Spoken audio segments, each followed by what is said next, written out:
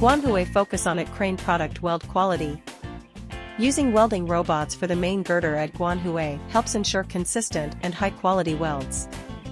Before start to weld, according to the size of the main girder, set the appropriate welding procedure. In the process of welding, constantly observe the welding quality.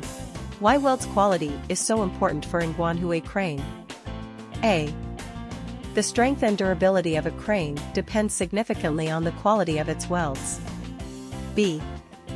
Load-bearing capacity, cranes are designed to lift and move heavy loads. C. Longevity and durability, good weld quality contributes to the overall lifespan of the crane.